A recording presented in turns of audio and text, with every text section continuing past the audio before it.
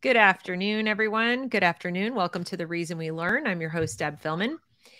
And today on my show, I have with me Larry Sand, and we are going to be talking about Uvalde and what happened there. But before I get into the topic, I would like to ask you to please like and share this broadcast. If you are new to the channel, The Reason We Learn, welcome. And I hope you'll consider becoming a subscriber so you can be notified when we have conversations like this or when I publish original content. We talk about all things related to education here on this channel. And I think, uh, you know, we have some pretty hard hitting conversations. Today will be no exception. Now, if you're not familiar with Larry, He's a former classroom teacher. He's the president of the nonprofit California Teachers Empowerment Network, which is a nonpartisan, non political group dedicated to providing teachers and the general public with reliable and balanced information about professional affiliations and positions on educational issues. Um, he writes for California Policy Center and also um, the uh, uh, for Kids and Country. And today we're going to be talking about his most recent piece, The Sandstorm Uvalde, The Way Forward. Welcome, Larry. Nice to be with you, Deb. Thank you. You're so welcome. So you took this on. Um, this is a big topic and it's currently causing a lot of polarized conversation. What's your what's your take on on that? You know, you know, when it, things like this happen, understandably, everybody looks for reasons, everybody points fingers, and uh, and and and and and a lot of the criticisms are just. I, I I don't think that getting rid of guns writ large is a very I mean, it's not going to happen. It's a bad idea anyway. As I think I mentioned in the piece, that there at this point there are more guns than people in the country. So even if you banned all gun sales tomorrow, we still have 380 million guns floating around, and the bad guys and the kooks are always going to figure out, you know, how to get their hands on one. So it's really up to good people to protect themselves and their loved ones. And in the case of students, you know, in, in case of teachers, their students. Right, right. So in this, in, in we one of the things that comes up in the conversation around school shootings is this is, keeps happening. It's and they they'll you'll hear it keeps happening because we don't do anything let's say about the guns but i'm looking at it and saying well what have we done besides the guns? And is it working what about the things we have done or haven't done? What do you what do you think about the steps that have been well, taken? If you don't mind, I want to go back to the very first thing you said about keep happening. And, yes. and, and frankly, they don't keep happening. I, I, Ed Week reported that there have been 27 school shootings this year, and that's like. But you know, they count a school shooting uh, like what one kid got shot. I mean, it's not a good thing, obviously, but a, a single student got shot outside of a school. I think in a parking lot at a basketball game now that you know, is it a school shooting? Okay, but you know, we're talking about mass school shootings, and in fact, there have been 13 mass school shootings since 1966, not 27 this year so far, as Ed Week reported. So it's very rare, and I mean, it's you have a much much greater chance of being killed in a car accident, or uh, I mean, you know, in a swimming pool than a school shooting. So they're very rare. Uh, now, as to what we can do, um, uh, well, I mean, th- there are laws on the books that, that we need to enforce. There's something called the red flag law, which enables the government to rightfully, I think, take a firearm away from, you know, somebody said, okay, I'm going to go out and buy a gun and, and shoot up the school and, and shoot up the town and shoot up the mayor and shoot up the governor and shoot up the president yeah, that person, okay, sorry, but you can't have a gun now until you uh, get some help, serious help. And uh, the other thing is, I think they're called straw laws, um, where straw purchase, yeah, yeah, where you know, if I have a friend who can't own a gun because he's a felon, I can go buy a gun and give it to him. That is a crime. That person should not ha- not only not be able to buy a gun, he should not be able to use a gun. So if we start enforcing laws that are already on the books, it, it would go a long way. Nothing's a cure-all, which eventually I think comes down to self-protection. Right, right.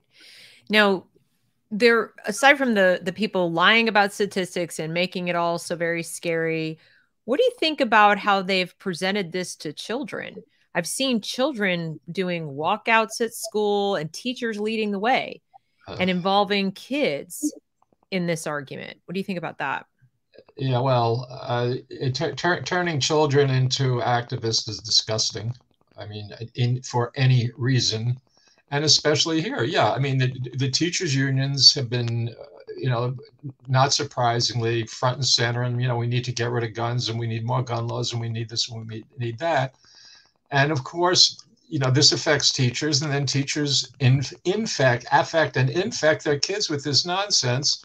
And I'm sure the teachers who do this think they're doing a justified and, and you know, a justifiable thing. And it's not, it's wrong. Right. And I, I, would love to know how many teachers actually present different sides of this issue. You know, some people think we need to get rid of guns, and some people think we need, you know, to make sure that the right people have guns. And I retired in 2009, but um, if, if, and I'm in California now, and we, we don't have a carry law, but if we did have a carry law, I would carry a gun. I would have no compunction about doing that. Mm-hmm. And as I mentioned, we, we, we, we, we obviously not everybody should. I think we need to train teachers, have them go through, you know, just like cops and soldiers go through classes and how to use, when to use, where to use. And, and clearly teachers would need to go through that. We would mm-hmm. pay for that training and, and, and frankly, give them a few extra bucks a year because of taking on an added responsibility. I was like, I was a testing coordinator in my school. I got a stipend of like fifteen hundred dollars a year because I took on extra work. So any any teacher who wants to carry a gun should get extra money, and you know, and, and not that many teachers will do it because too many teachers buy into the uh, nonsense that you know it's uh, we need we need less guns in school. You know, we, we need to right. be schools need to be a safe place. Ironically, guns will make them safer, but most teachers don't see that. Right, right. I think even in the case of kids bringing their own gun to school, in the sense of, you know, sneaking it in. And I mean, here in Charlotte, where I live, uh, one year, I, we weren't even halfway through the year, and they're like, "Well, that's the 17th gun. It was confiscated at a, you know, from a kid's backpack or whatever."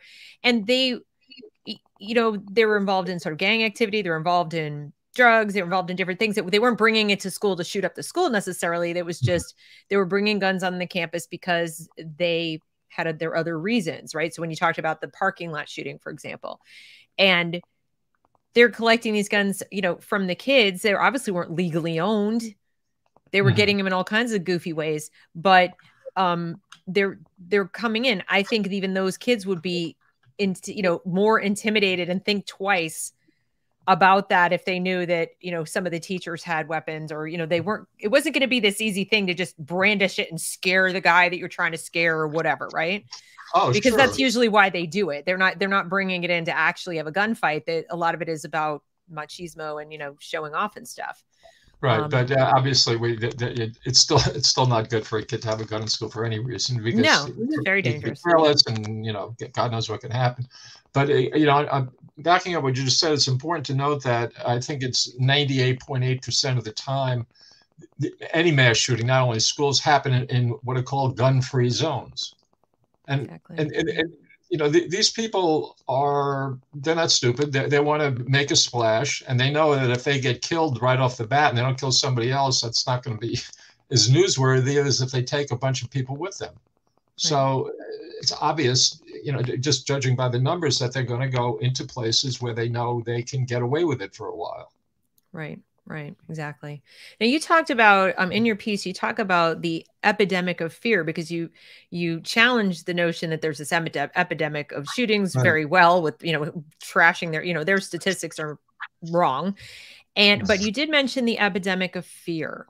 Mm-hmm. Um, let's talk about that a little bit. What what do you what do you mean when you say that, and what what is what are they talking about? Well, actually, I was quoting somebody by the name of uh, James Alan Fox, who's a criminologist at Northeastern University, and he's been tracking these events for years. And and you know, and he he said there've been third, you know, he knows there've been 13 mass shootings since 1966.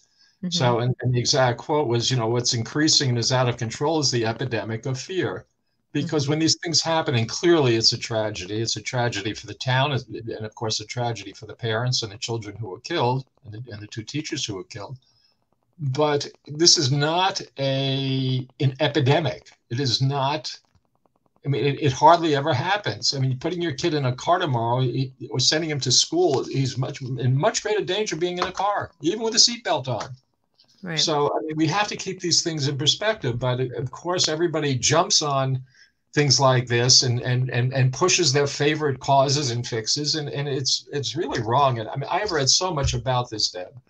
And it, it's just i mean it gets me sick sometimes the, the attitude that people have. And, and, and that's one of the reasons i, I wrote the piece because I, I try to present it in a way that that was sort of I, thought calm. no, it was. Uh, yeah, and you just broke it down. You know, took apart their statistics and everything. And and the thing too is that when you talk about things like you know an epidemic of fear, I start to think about the unintended negative consequences. We already mentioned it. They're turning them into activists or they're making the children afraid. I mean, you're when you're a kid going to school, you've already got dozens of reasons to be anxious. Okay. Whether it's, you know, your grades or, you know, maybe the kids don't like you or right. whatever's going on. There's all kinds of things going on right now. And to add that for any teacher, you know, we talk about being safe at school. To me, statistically, the child is more likely to be literally unsafe emotionally and even physically from their fellow students just on a day-to-day basis of you know bullying and getting fights and stuff. And i don't see a lot of attention being paid to that in a healthy way. I'm mm-hmm. seeing a lot of talk about let's screen all the kids and put them on drugs and all this sel stuff. And and i keep coming back to the common denominator when there is a mass school shooting is that the shooter decided, this nihilistic suicidal person decided to go to a school, first of all, lots of soft targets, malls, other places, right? Parks. They go to a school. They shoot up a school. And I can't shake the feeling that part of their motive is to fight back at the school. Like there's a piece of me wondering why are we not looking mm. at why that place? Yes, it's a soft target, but it feels like there's something else going on too. And I, I wonder if we should be mm-hmm. thinking about that when we then turn around to the kids and be like, you know, be in your feelings, be in your feelings all the time. I don't know that that's healthy. Like maybe yeah, well, we're creating a problem. I, I, I, agree with you wholeheartedly. That's a great point, especially these days, because for about two years, kids were told that they were going to kill grandma with COVID. Mm-hmm. And, that, and the ongoing uh, fear mongering has been about climate change. Don't get me started. Um, and it's needlessly frightening children and it's disgusting. And then you know, now we have this oh yeah well, somebody's going to come to school tomorrow and shoot it up and those bad guys in the nra want more people to have guns. This is terrible. We need to go out in the streets and more you know. Um, whether the uh, your other interesting point about whether or not the killers pick schools because they're angry I, you may be right. I, I don't know. Maybe in some cases, somebody's angry at the school, the teachers, the principal, the system. Uh, you know, that they, they, got bad grades. That that I really don't know. But as a generally, I think they they picked schools because they know they're primarily gun-free zones, and you get a whole you get. I hate to say it, more bang for your buck. You have a whole classroom full of people. You don't have to go okay. shooting them all over the place. But you have all you have a captive audience, so to speak. That's very. And the other true. important thing, I mean, such a simple fix is keep your doors locked, teachers. You know, just like at home, you keep your doors locked. You, you don't, you know, you know, and if somebody comes to the door, they knock, and you, if they, you know that person that really is right. harmless, you let them in. If it's a stranger, sorry, uh, uh, you know, I'm selling. I'm sorry, not interested. Um, right. And and a classroom should be the same thing. Now, of course, the principal would have a key, the uh, the, the janitor would have a key, but this guy could not, if that teacher had had that door locked, that room would not have been entered into by that nut. Right. I think I read that one of the problems they had, ironically, tragically, is that this school was outfitted. And in fact, just in the end of March, they had a drill. It was outfitted with doors that lock from the inside so that with little tiny skinny windows. So you can't see, and the door and the windows were covered so you can't see from the outside. And the idea there is what you said, lock from the inside to keep them safe. But they had an assembly that day with parents in the morning. And apparently, the way he got into the building, was the mm teacher had left the door propped open because parents were coming and going and then the doors to the classrooms were more open because parents had been coming and going he came in not long after the last of the parents had left after the assembly and they didn't just you know lock it all up tight again and then when he came in and went and barricaded himself in a classroom he closed the door. Right. That kept them out. And worse than that, the bathrooms are Jack and Jill between the classrooms so that he could move between classrooms right. safely. It was a nightmare. And then only the janitor had a key. Right. There and, should and be the principal. And, and, of course, uh, and once the bad guy was in the room, he locked the door. Correct. So, so, yeah, so it was yeah, like well, the safety measures even worked against them, and well, respect. you know, it, it's not that big of a deal. Um, you know, you just have a single entrance to a school, right? And you know, parents come in, and you have you don't know, let your guard down. Don't prop it open. Don't get complacent. Right. You know. Yeah. No, it's yeah. I mean, this is just common sense stuff. I'm sorry. Right. You just you know, if you, if you leave your door open, you're asking for trouble. Any anybody can just walk in then. Right. AD, and thank that, you for the super chat. AD says in elementary school, I was acting out and they wanted to put me on in spe- into special education and on Ritalin. My mom put me in wrestling and I ended up fine. and uh, thank you very much for that comment. I think there, there's a point to be made there that the we they're men, they're, they're boys or young men who are doing these things primarily. And part of why I mentioned it is there are certain common denominators. It's like we're not really looking at. We always look at the gun and then i'm thinking like okay what's what are we doing maybe to boys or what's happening to you know young men at this age or you know what messages aside from the the world is going to hell in a handbasket and all the adults screwed up and you have nothing to look forward to is probably not very healthy right i don't mean to laugh but it, you're gonna you're gonna cultivate that in somebody's mind there might be one in a you know 10,000 who takes it all the way yeah, well, I mean, we, we live in a time now where masculinity is sort of uh, conflated with what's being called toxic masculinity. It's not a good time to be a boy, I don't think. And yeah, th- this is a, a, great part of the problem. And and yeah, too many kids are on drugs. I mean, Ritalin being, uh, well, I don't even know if that's that was the drug du jour for a long time. I think it's like Adderall now. They do Adderall. I, I believe I believe you're right. Yeah, I, have I've followed that too closely. But yeah, I mean, and you know, the, and, and usually the, the, these are boys being uh, boys. This is what boys do. And yeah, I mean, there, there, there is such a thing as ADHD, but it's very rare, and, and that needs psychiatric attention. But most of the time, it's just boys being boys, and yeah, you need to be calmed down, slapped, put in their place. Just okay, you're done now, enough, or you know, you're going to be grounded, you know, whatever. Right, right, and you know, it's it's it seems like today they in schools they are using the word empathy and in a way that is not empathetic it's in other words it's it's permissiveness it is like you know you're really not helping the child or any of the other children in the school or the classroom or the adults for that matter um, when you decide you're going to you know try to understand every little behavior and and or, and or pathologize every behavior like this is a sign of some kind of illness. No maybe they're just being a jerk you know? It's like maybe they just need some discipline. Right and yeah it, i mean well discipline has become a dirty word and we have what's laughingly called restorative justice mm-hmm. where kids you know if, if, if boy a beats the tar out of boy b. Boy b has to sit in a room with him and, and you know understand a's problem and, and why he did it. I mean what a crock. I mean this is I mean, like I grew up in the '50s, you know, and may, maybe I'm a dinosaur, but I sure think I, uh, I, had a better education than kids are getting these days.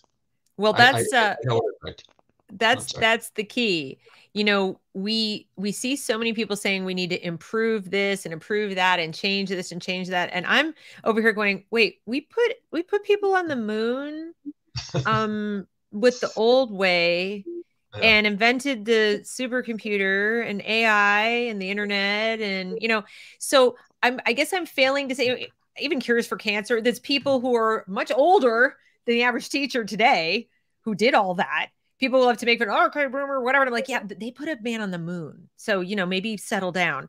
Um I'm I'm I'm just at a loss to understand why there isn't a larger contingent of people in your profession and above that, you know, the teachers of the teachers and the people in the professional associations crying out mm. for for save the knowledge based curriculum and pushing back on these lunatics who mm. want to just make everything about my feels and mm-hmm. and and we got to decolonize this and decolonize that because i think what's happening and i do think it's connected to this shooting stuff but is that these kids really are like mm. nihilistic. Mm-hmm. They don't have any sense of appreciation, gratitude, joy, mm-hmm. perspective. any of it, even at a childlike level, right? That there's something to look forward to, that growing up is going to be this at least semi cool thing. And instead, I I see this, you know, like everybody screwed up the world and now it's your job to fix it, little kids. Um, mm-hmm. and I, I just I'll be honest, I'm surprised there aren't more events. Hmm. Because it to me it's a reflection of something deeply sick in the culture, not just the individual. Yes, the individual, but something is up. Even as rare as they are, if you go back to your, you know, generation when you were in school, didn't happen at all and no. that's a generation where kids probably had a, you know, their hunting rifle maybe in the back of their truck. Exactly. Yeah. no, that's in the high school point, parking lot, you know? Yes. Just didn't um, even, ha- it didn't happen. Right. Yeah. Yeah. Kids used to bring guns to school for good reasons. Now, if a kid brings a gun to school, it's uh, not for a good reason. Right. Um, yeah. And yeah, well, just to go back to something, yeah, I want to hook on to something you said earlier about the grown-ups. Why aren't more people? Because people are afraid. Teachers are afraid to speak up. They'll be afraid of called racist. If they want to leave the union, they don't want to, you know, they don't want to leave the union because they're afraid of, you know, what people will say about them. And and you know, in the, in the union case, I mean, I've been fighting the unions most of my adult life at this point, and um, you know, people, you know, and I, when I tell people they're going to leave the union, I said, yeah, you might wind up eating lunch in, in your room by yourself. And I said, I went, I had a, I had a union light school, L-I-T-E, and I had a couple of teachers that stopped talking to me. My, my life wasn't effective, but I, I guide teachers and I tell them that you, you might, you know, so, and so it, it, takes a little bit of uh, gumption to to to take on the union establishment and the general ed establishment and all the CRT stuff. And, and God knows there are brave teachers out there, but we need a lot more of them because the uh, the ed, establishment, which is essentially you know the, the, you know what's become a corporate education setup, and and and their unions, the government-run teachers unions. Uh, are running the show and we need more boots on the ground people grassroots people to speak up and to act and say no this is wrong i'm not going to tell little my little white kindergartner that he's oppressing the, my little black kindergartner. This is crazy talk. I will, right. will not do it. Or put doubt in their mind about what gender they are, or that they should doubt that their parents really love them, and you know, keep I'll keep your secret and all this kind of stuff. Yeah. Um, I just think it's it, it's a, a toxic soup, and I I mean, whether they end up hurting other people or hurting themselves, I just don't think this is a healthy environment overall.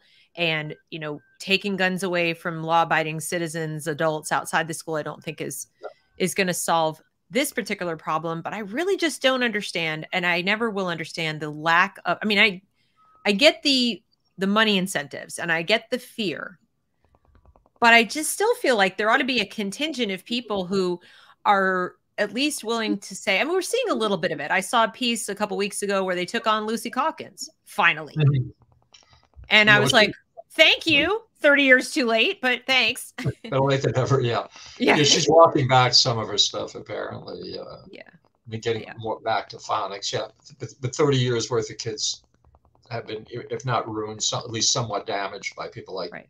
Calkins and people like her. You know? Right. And then we have to the California math framework and the piece that just came out the other day from the Stanford review saying, oh, by the way, these two people, they have a lot to personally gain from you know the writing and the adoption of this framework that dumbs down math further than it already was and of course i'm over here going and who didn't know this wasn't paying attention. Oh yeah and well just, the, yeah, yeah i was just saying yeah the math framework and the uh, ethnic studies mandate are big big topics out here and right exactly. you're on top of it so. But i feel like it it's it's connected to violence in schools, whether it's school shootings or just random violence and disrespect and misbehavior in schools. I feel like the lack of rigor in the curriculum, the uh, the focus on feelings and the restorative justice and all, I think it makes all of that worse. It does. I I just have it. Maybe I, I I'm a dinosaur too, but I feel like you get what you expect from kids, and so when you expect very little, you that's what you get and if you go in and ex- you set the standard and you expect them to behave a certain way and you have a standard of rigor and you're gonna get you're gonna fail if you don't do this it's gonna and i know there are a lot of people don't like that they think well that makes school really terrible i'm like i didn't say it had to be boring and dumb and arbitrary i just said it had to be rigorous and it has to be purposeful. And i'm not seeing that. And so if i'm a kid kids when i was teaching what one thing i noticed tell me if you had the same experiences. Kids have a pretty good BS meter, a lot of them, and they if they see that you're phony, like or you're just like eh, you know phoning it in or, or toeing the party line or something, they're gonna find every which way in the world to get around you to you know like play uh, you, manipulate you, all that. Yeah, yeah, no, that, that they're all very smart, at least in that way. They they know how to to to to run the system, so to speak, and, and to you know get around what you're doing. And yeah, more rigor and it's not a word you know we I, punishment went out a long time ago and then it became consequences but a consequence for your action. Yes if you beat up little joey you're gonna we're not going to send you home for two days because then you're going to sit and watch tv now just to digress a little bit you know we used to suspend kids and i would say uh, what, would you do? You know kid beat up another kid. Oh, oh uh, i just I watch tv all day. So this is not punishment. Excuse me. This we eh, we have to figure out more creative ways of punishing a kid. And one way we had what we called in-house suspensions and it was run by this guy who's a guidance counselor who was an ex-marine. And he he kept his room very hot and he would stand for hours at a time and the kids hated it. And i loved it. It worked. I mean I don't think he broke any rules. I mean, he, you know, the room was hotter than it should have been. I hated going in there because I started sweating. Um, but it worked. And, and, as I said, sending kids home. Oh, I, uh, you know, my mother went to work. I watched TV all day. Right. So it anyway. doesn't. It doesn't seem like a consequence. You're right. A lot. A lot of kids would like to get out of yeah, school, and it's probably one of the reasons. The, the, the reason they're acting up is they don't like school, so I'm going to punish them by sending them home. No, that makes no sense. That makes no sense. Right. Well, unless you just the, said some. No, just to say, unless the parent buys in and, and doesn't let the kid watch TV all day long, and you know right. whether or not she beats his rear end and or you know whatever it, you know the yeah. parent leave that up to the parent but if a parent isn't going to do that sending the kid home is is is a prize it's not a punishment exactly and you just said something too so that they are acting up because they don't like school yeah, and that so, and that's another thing. It's like they, they come up with every externalized reason that the kid is acting up. Like did it ever occur to you they're acting up because they can't read? So they can't really participate in anything or they're just plain bored or they you know don't understand anything that's going on. And it, like there there are so many reasons. I think what is it like 75 or 80 percent of the prison population is functionally illiterate? I've heard that. i, mean, I don't yeah i've yeah. heard that so i mean if you they talk about things like you know the school to prison pipeline like did it ever occur to you if you taught the kids to read I mean, that's a pretty high correlation. I'm not saying it's causal, but it's certainly a high, it's a notable mm-hmm. correlation. So mm-hmm. maybe it, maybe just maybe literacy is a, a, skill that might help keep you out of prison and not not punishing kids maybe maybe that's the, the answer is making sure they can read yeah well I, yeah all of the above you know t- teach them to read obviously that's why they're in school right. and you know i don't understand you know how a kid can get out of school not being able to read uh, I think uh, you know we had uh, what was called I don't know if it's even still called a social promotion, where mm-hmm. you go from second grade to the third grade. You may you may not have learned a thing, right?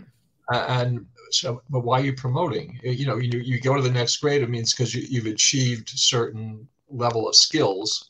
Right. And if you don't, why are you going to the next grade? And you know, it's and I think you know it hurts kids' feelings to spend an yeah. Then they're oldest kid in their class and they're repeating second grade, and the other kids call them stupid. So, but at least you have that. That's a motivation. Well, I don't want to be uh, a year older than the kids in my class, and I don't want to be called stupid. So I'm going to try real hard to get to the next level. And if you can't do it, then you will get the, get the kid a tutor or maybe psychological help. Right. Most will still have counselors, and um, yeah, I mean, when, when kids need help in school, they, you know, the, the teacher usually knows if a kid's got a, you know, learning disability or this, you know, problem at home right. that, that's causing him not or her not to learn. And yeah. Right. What, what sort of more modern things that we have at our disposal do you think are good or would help prevent violent behaviors. So, in addition to just disciplining kids, whatever, are there any other preventive measures that you can think of in terms of dealing with students directly or young adults directly that could help prevent them turning their anger outward? Well, I think schools need to be very aware of when a child is going over the edge, so to speak. And it's not that hard to figure out because the kids act out. They usually don't just keep it inside. And if they do, they become, you know, like mummies and they never talk, then that's a red flag too. So mm-hmm. kids, you know, usually will let a teacher know advertently or inadvertently that they're troubled. And these are the kids you need to call on the parents you know, maybe I don't know if there's anything newfangled these days, but just traditionally what I did, you know, you call the parents, you send them to the guidance counselor, you set up meetings with all of the above, mm-hmm. and you know, you talk to the kid, and you know, you can usually figure it out. It's not rocket science, you know, why a kid isn't learning or why a kid is, um, you know, acting out in a certain way, and right. you know, obviously you, you need caring parents. And if you don't, it makes your job a whole lot harder. But then you have, you know, school shrinks and counselors and you know administrators and, and older teachers who can you know share their wisdom. And yeah and, and and most of the time i think it can be dealt with. And and you know sometimes if a kid just can't be dealt with then he's got to be shipped out. Mm-hmm. and ironically i don't know how things are these days. It used to be you shipped them out to a lot of times to a private school which is of course you know the, the, the bete noir of the teachers unions. You'd send them to a private school uh, you know that specializes in you know tough nuts so to speak. Right. Yeah now, you did mention restoring campus cops too. Um, and obviously, that's gotten a lot of flack. What do you have to say about that? I don't understand why they got flack. I, I, I just never understood that. We, you know, I, the school where I taught, we always had a campus cop. One cop carried a gun, visibly, you could see it in a holster. I mean, men, women, blacks, whites, Hispanics. Um, it was never an issue and you know everybody you know you never want to run afoul of a cop obviously not not because you're going to get shot because he's a, voice of authority and he had a walkie talkie and he could immediately or she could immediately you know call the police. What i mean it's just the whole general anti-cop thing in society and black lives matter and, and cops are you know discriminating and they're racist and you know yeah it, it's just it's so disheartening to watch what's going on, and, and, especially in the schools because they need more campus cops these days, not fewer. As I brought up, um, there's a wonderful website called Just Facts, and and uh, it's run by a man by the name of James Agresti, who pointed out, you know, that in the Superdome, you know, they have uh, I forget how many, you know, it, it comes down to about one cop per 80, 80 people, you know. Wow. In, in the Super Bowl. Oh, that's pretty good. I didn't yeah, realize so, it was that that okay. Right. So, you know, if it's you know, cops you know, if the cop is in the Super Bowl, um, you know, why cops in school? So at school six hundred, as I pointed out, you know, maybe seven or eight cops. Why not? Right. And you know, it's it's so ironic because, you know, when, whether it's, you know, President Obama or President Trump, uh, I won't even dignify the current president. Um, when they, these their kids get sent to school, they had armed, you know, armed guards watching over them. What, why is it okay for a president's kid to, to have that and not not the rest of our kids? Or or them.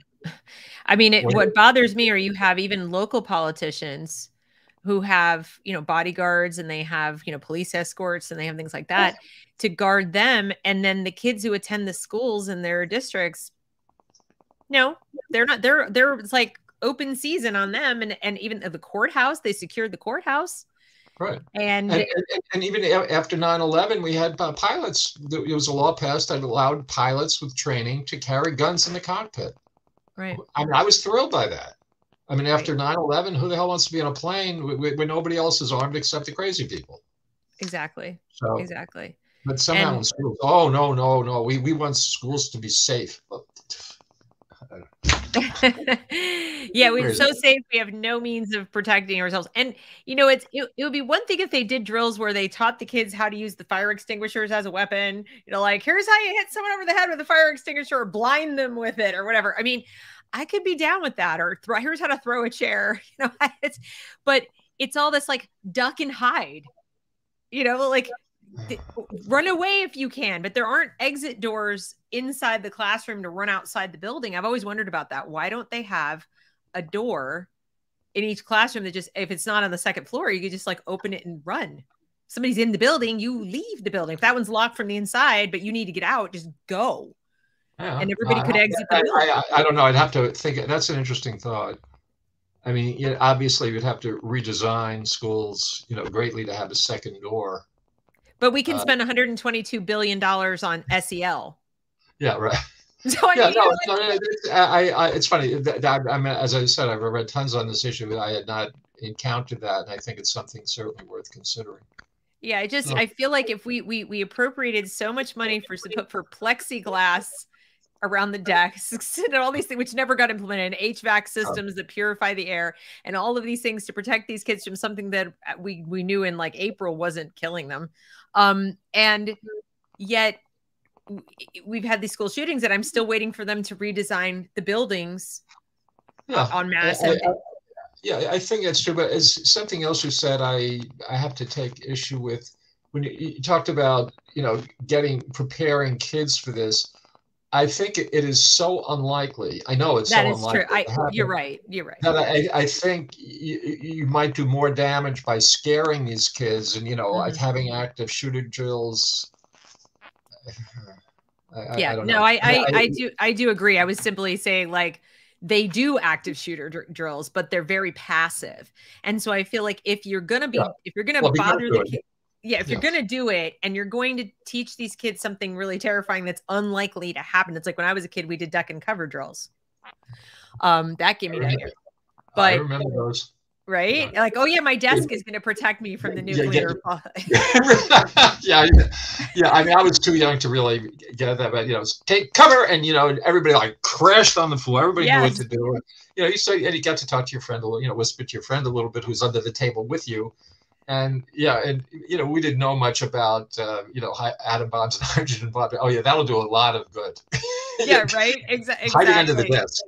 Hiding under the desk and yeah. uh, I, I, remember those and they would show us where that like this part of the school is a fallout shelter what's fallout right. oh radiation is really you know and then you're in like fourth grade you're going oh my god um but so but if they do the drills and my qualm with the drills is they're super passive. And what concerns me is when my daughter was in seventh grade there was a walkout for gun safety and all these kids were walking out. And i was very critical of it called the superintendent. I said why are you allowing he was allowing it district wide they were like planning for it and arranging for them to be escorted out of the building.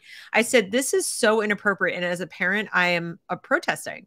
I think this Good. is wrong. It's interfering. He said, Well, the Supreme Court, I said, No, you're wrong about that. The Supreme Court said the student doesn't lose their right to free speech, but it doesn't mean they won't get punished or have a consequence for skipping class.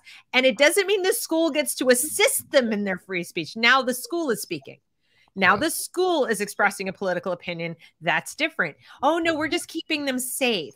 And I said, Really? By taking an entire class period away from all the students. My daughter is one of like seven kids who stayed in the building.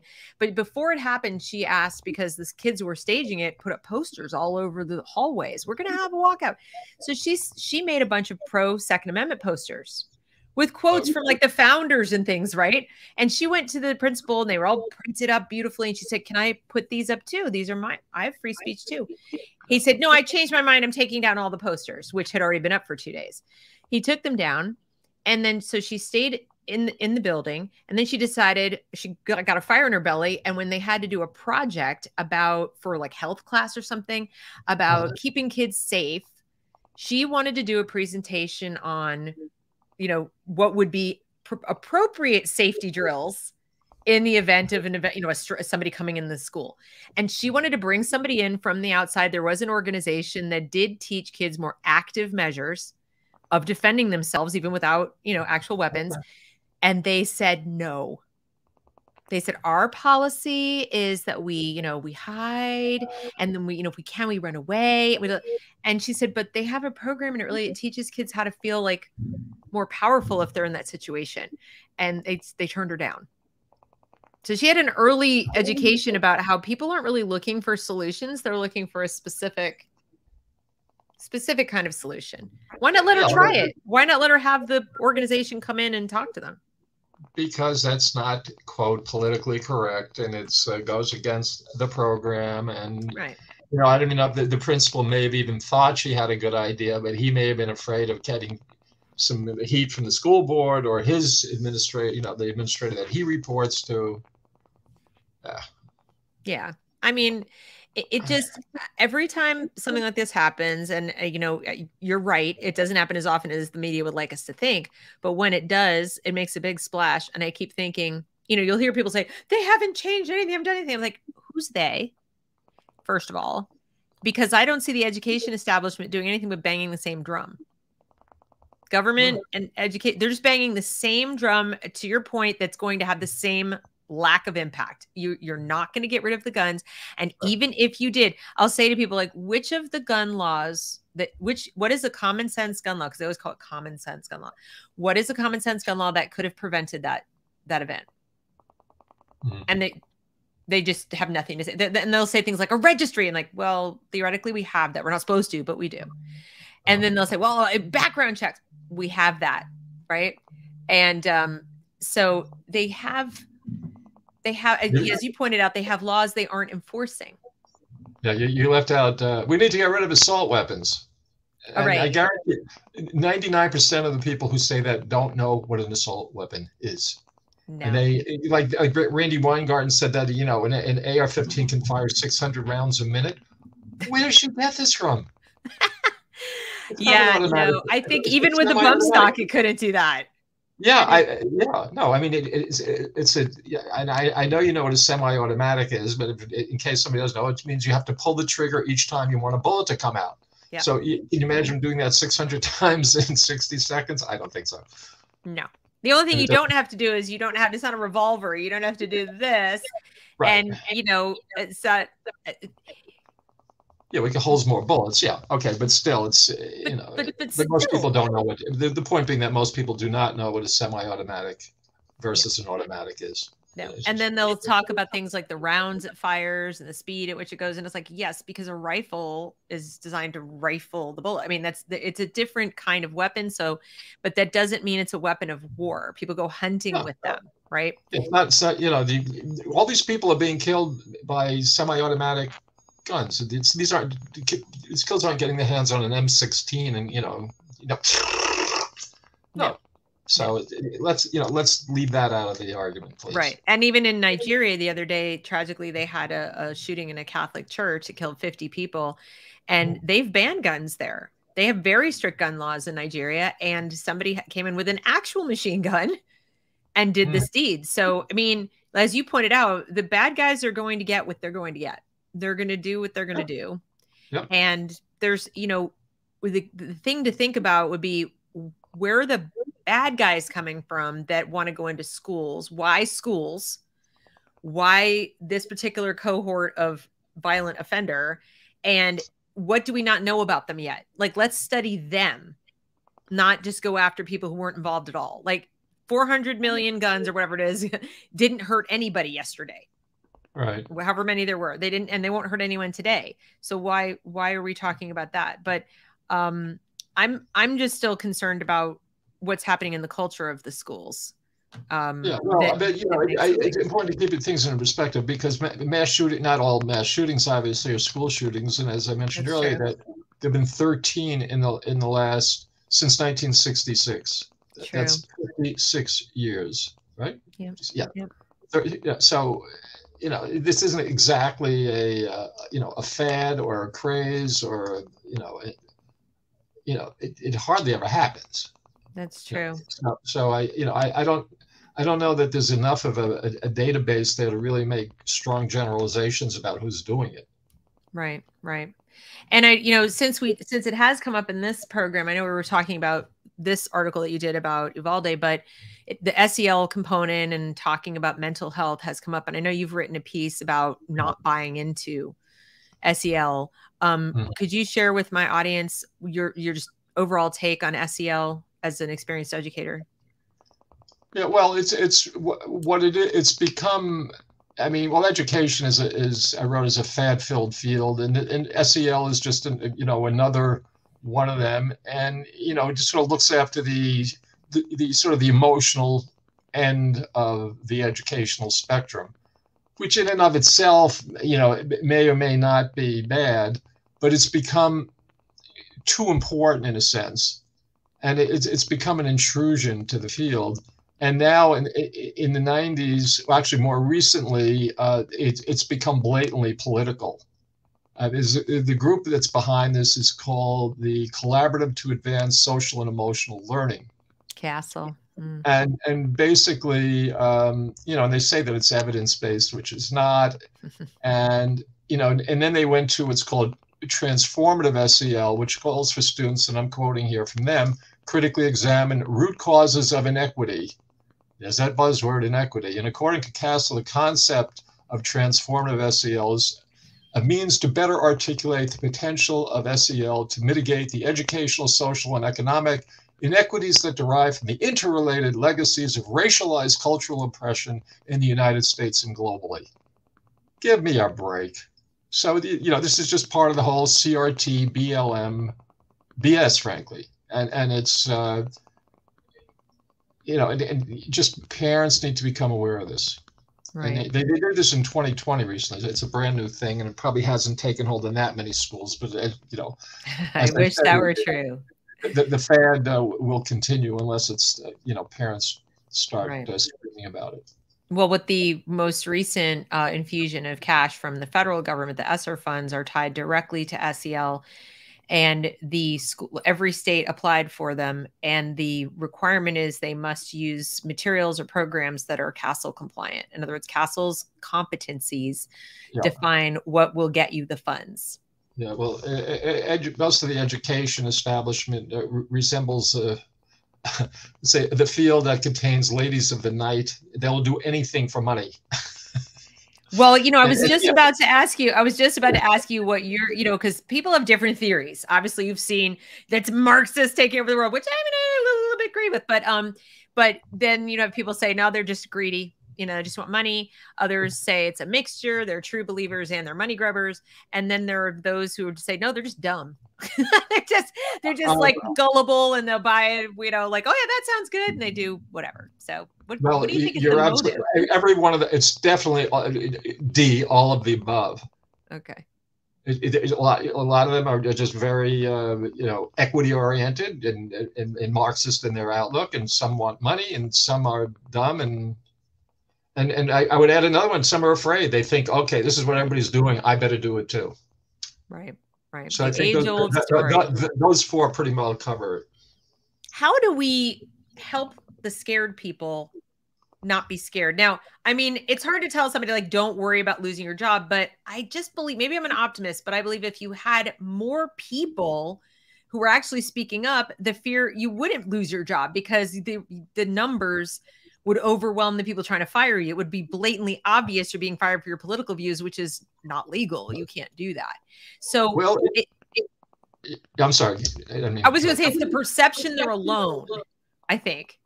Well, it's like you're right. It's like anything else, though. There's safety in numbers, and um, uh, I remember a story uh, when I was still teaching, I overheard, I was a conservative and I didn't dare mention that. I didn't have any reason to, and I didn't want to jeopardize any relationship I had. And I heard an aide speak to somebody else, uh, an office worker. She said, Oh, Lucy, I was down in Orange County this weekend. I love it. It's so conservative there. And I was like, what? So there's another conservative on campus. So anyway, and I, I went up to Lucy. I said, "You're conservative." Oh yeah, and she pointed out five other people or six other people on campus who were. And I went and I talked to them in hushed tones. Oh, you're conservative? Oh, really? Me too. Yeah.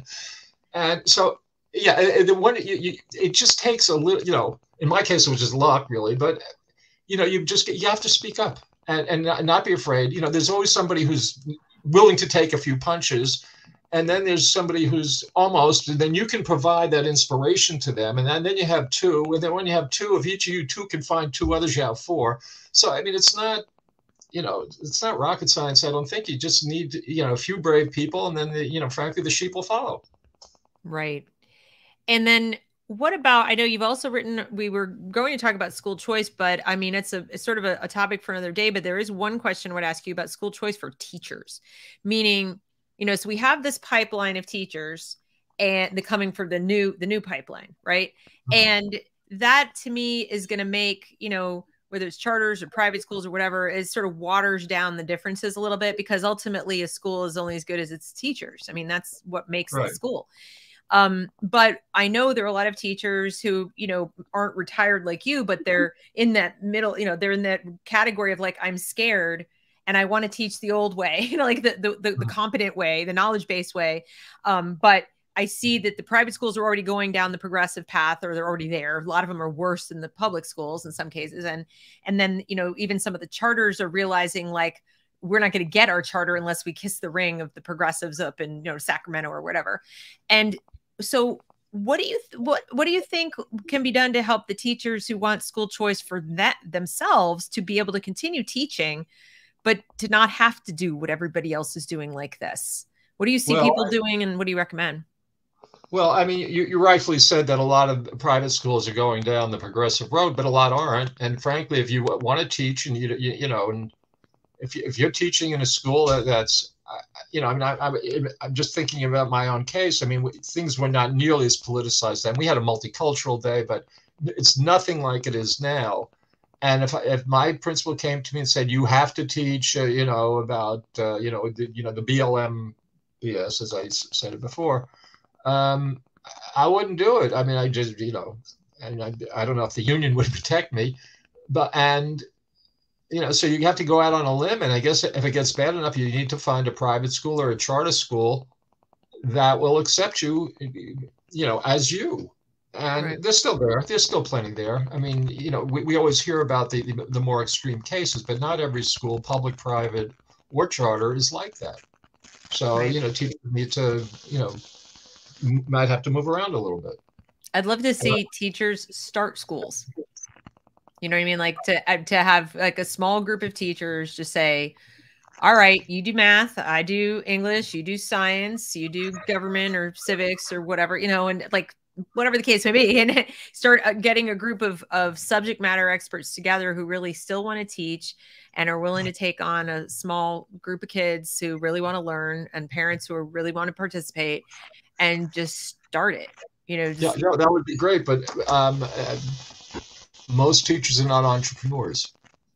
I mean, I hate to say this, but teaching, especially in a, in a public school, in a government school, is, is as safe a job as you get. You basically can't get fired. It's so hard to get fired.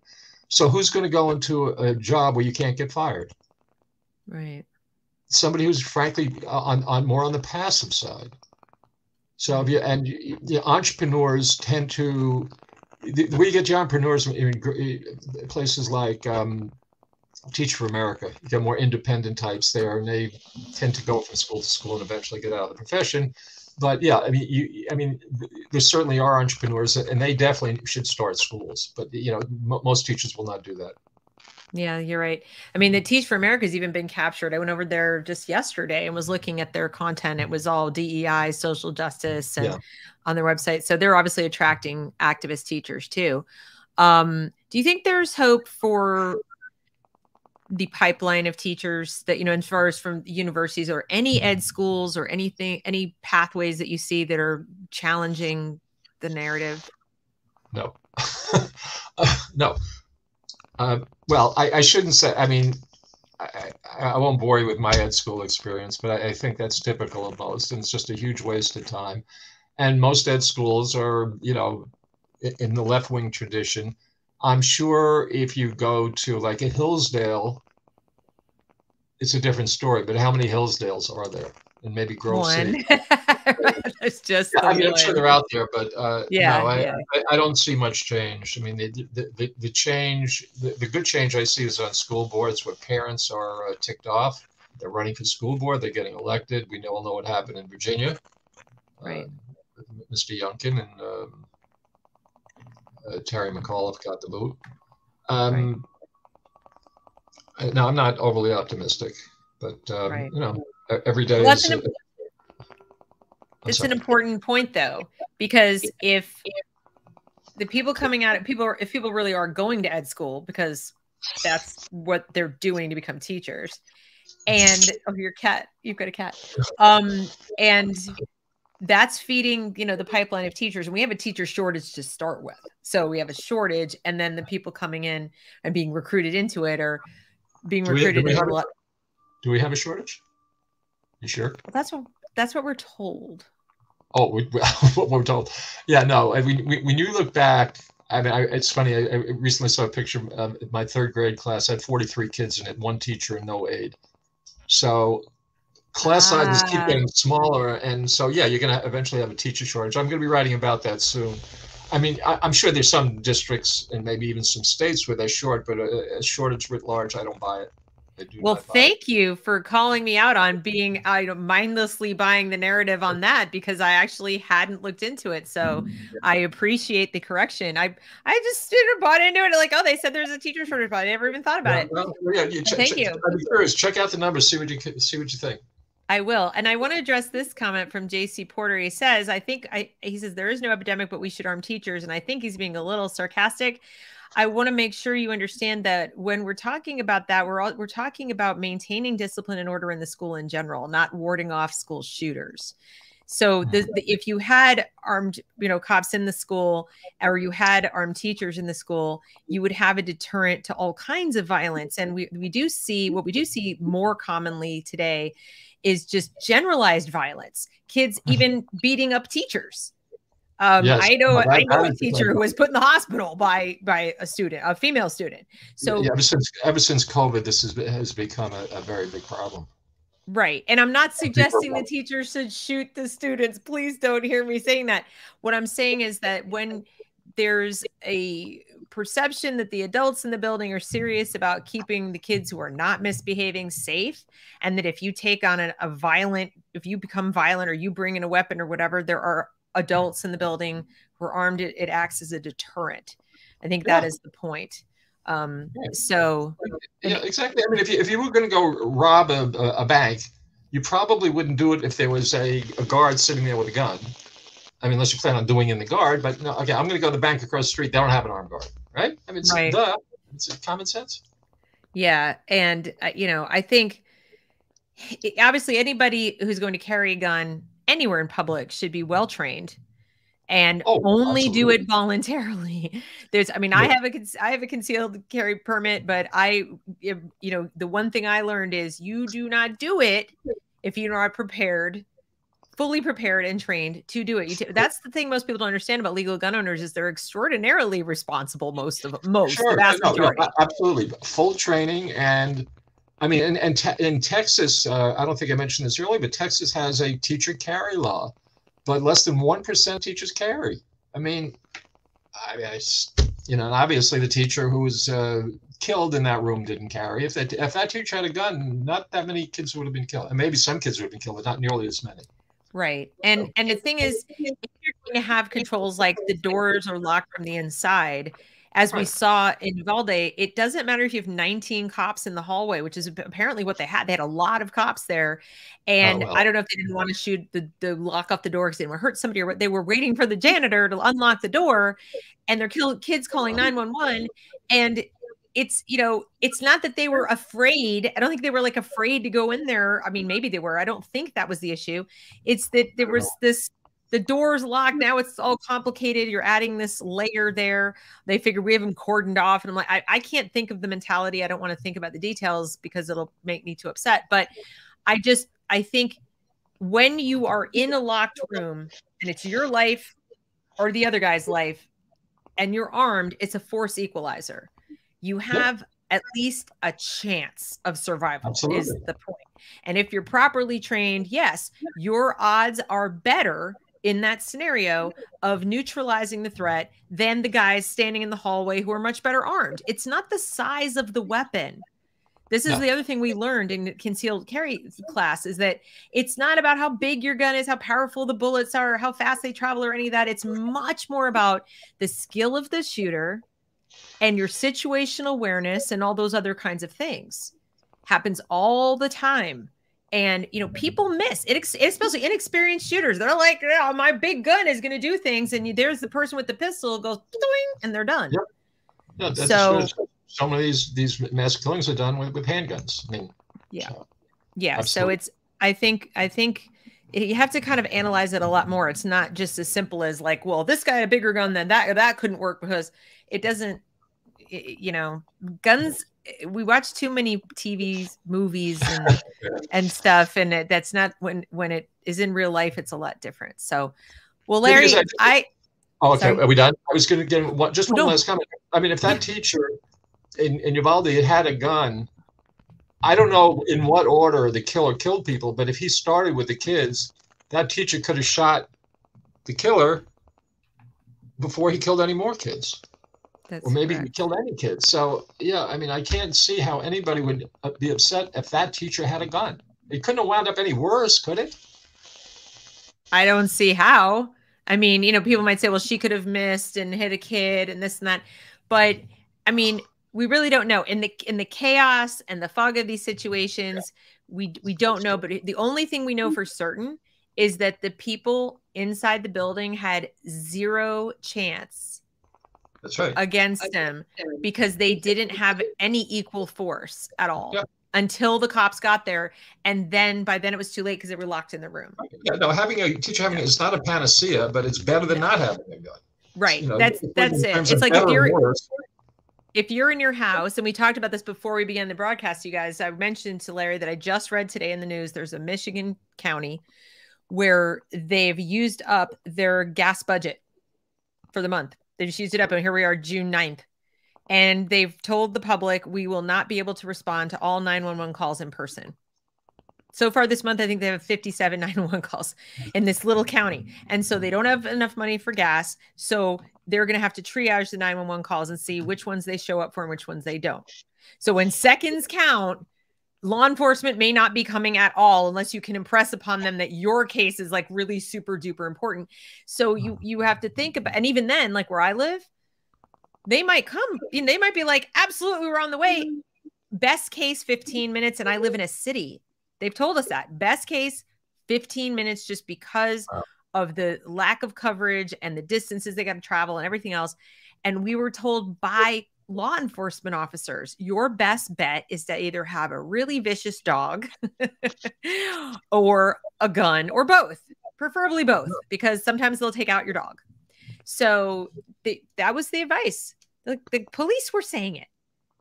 Like, we can't be everywhere and we can't right. get to you. And a lot of times we come to write up the police report.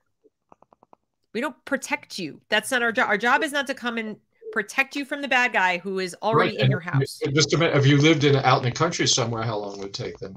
Oh, forget it. I mean, yeah. my, my, dad lives in the country, and they've they've told him straight up, you better be armed because it's a half hour solid on a yeah. good day.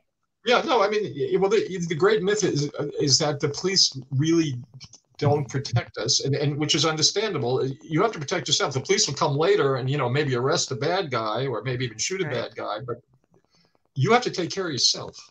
Right, and there are controls on the the rifles that people are calling assault weapons. They're they're they're not. There's no such thing as an assault weapon. That is actually like a, a political term that to that is used to describe cosmetic mark you know details like it's black and whatever. Um, and what there are controls on rifles. You still have to go through a background check. You still have to you know fill out tons of paperwork. When I bought mine the process took about an hour and a half just to make the purchase. So hmm. the people owning the gun store had plenty of time in addition to run the my name and everything through CODIS. They they got to like talk to me and have me fill out all these forms and it's oh my god multiple pages of paper that you have to fill out it's not like here you go here's your gun right. and that's no, been proven no, so many I, times I, am a gun i'm a gun owner I, I, mean the last gun i bought was many years ago but uh, yeah i had to go through tons of paperwork and checks and this and that and yeah. And and their ammunition and all the things like the magazines, like it's not like there's no controls. You can't just like go do whatever you want. Um, and even when you buy online, people think you just go on a website and do, no, you still have to have a registered agent receive it. Like you can't receive it to your house. You can receive ammo, but you can't receive the weapon. Right. You can't order a gun to your house. Like people think that you could do no, you've got to have it sent somewhere. I know. And You're somebody's right. got to receive it. So they don't know the journalists and the people that talk about these issues have not even after all this time taken the time to research facts and sound semi-intelligent they're perfectly okay to sound ignorant mm-hmm. yep. and i guess that means they only hope to speak to the people who are already as ignorant as they are they're not interested in persuading us Yeah, no. Well, but they think they're not. They don't know they're ignorant, which is the problem. If they, know, if you know you're ignorant, then you won't talk. But if you you you think you know something, then you're going to try to convert people, and that's where the danger comes in. Yeah, that that is true. So so you said your next project you're working on a piece on um you just mentioned what you're going to be working on. Uh, I'm just going to I think probably unless something else comes up uh, on class size and students dropping out of the system, you know, you know at the same time. Not I'm sorry, teachers leaving the profession and students leaving the classroom. Okay. And, and somehow get that together. I, it's still up here. I haven't done it. Okay. So um, I just shared a link to the California California Policy Center.org. That's where you usually write for, right? And then also you write for um, uh, for Kids and Country, correct? Right. And and lately uh, I've got a steady gig with Front Page Magazine, which is oh, that's awesome. Okay, great. Yeah. So you can find Larry at those locations and follow along. You can subscribe. Also, I'm subscribed, so I get the articles delivered to my inbox, and you can keep up with what he's covering and um, you know you, you, should parents you should stay abreast of what, what's happening read a variety of different things because if you're just yeah. looking at the mainstream news you're not getting the picture at all and uh, you know so i'll be i'll be keeping an eye out to see what that's about because i'm very curious is there really a mass exodus of teachers or is that another narrative so. well uh, well uh, I, ha- I, haven't done all the research yet so i don't even want to talk about it but it's okay but we'll okay, get that, mm-hmm. guys? It's probably not what we think, like everything else with education. Larry, I got to thank you for coming in today and talking to me about this very important issue. I hope people will ask more questions in the future about things like school shootings. Um, the article link is in the description box below. Please do read it. It has all the links to just facts and other statistics. And you can, you know, have the have the data use actual facts to have these conversations thanks everybody Thank for coming thank you Thank you, Deb. Always a pleasure. Okay. Have a great day. Bye bye.